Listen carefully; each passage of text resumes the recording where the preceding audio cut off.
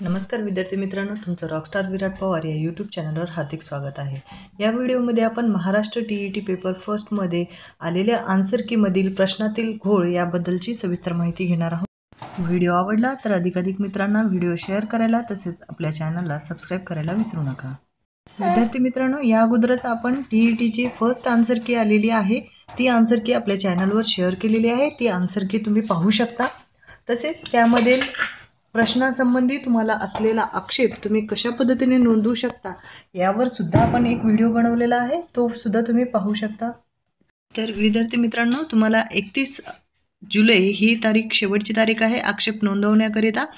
तर तुम्हाला जे प्रश्नांच्या जे तुम्हाला चुकीचे वाटतात किंवा ज्यामध्ये तुम्हाला काही प्रश्नाचे आन्सर्स हे ते यायचे नाही पाहिजे किंवा दोन आन्सर्समध्ये संभ्रम वाटतं त्याबद्दल तुम्ही परिषदेला आक्षेप घेणारा ईमेल पाठवू शकता.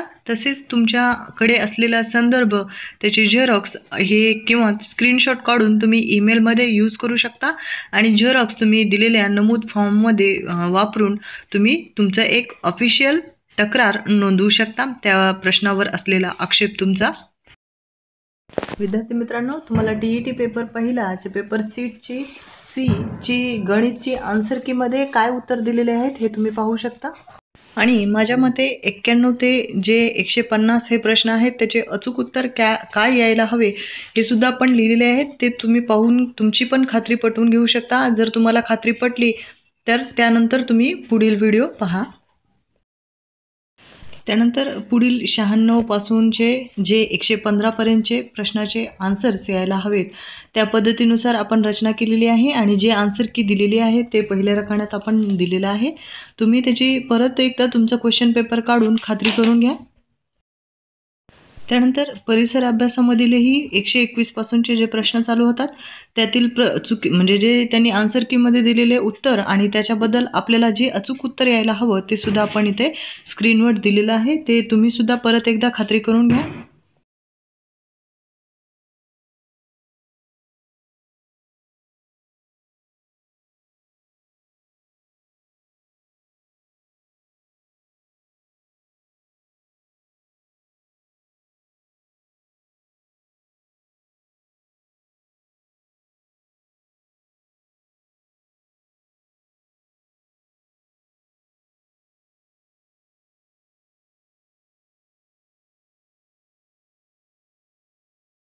त्यानंतर विद्यार्थी मित्रांनो क्रमांक एक्क्याण्णव ते एकशे पन्नास चेक केले असता त्यात अपवादात्मक दोन ते तीन प्रश्नांची उत्तरे चुकलेली आढळून आली. परंतु सेट ए आणि सेट बी मधील प्रश्न क्रमांक एक्क्याण्णव ते एकशे पन्नासमध्ये नाममात्र चुका आढळल्यामुळे फक्त सेट सी आणि सेट डी यांच्यात बहुसंख्य चुका एक्क्याण्णव ते एकशे पन्नास दरम्यान आढळल्या. यांची पडताळणी पुन्हा केली त्यावेळी लक्षात आले की महाराष्ट्र राज्य परीक्षा परिषद यांच्याकडून नजरचुकीने किंवा तांत्रिक कारणामुळे सेट सी एक्क्याण्णव ते एकशे पन्नासची उत्तरे सेट डीची उत्तरे म्हणून तसेच सेट डीच्या एक्क्याण्णव ते एकशे पन्नासच्या उत्तरात सेट सीची उत्तरे प्रसिद्ध करण्यात आली आहेत. असा अंदाज आहे. तर तुमचाही अंदाज हा प्रमाणेच असेल. तर तुम्ही विद्यार्थी मित्रांनो तुमच्या सीट क्रमांकासहित महा ई महाटेटच्या ऑफिशियल साईटला तुमचा आक्षेप घेणारा ईमेल एकतीस जुलैच्या अगोदर नोंदवावा.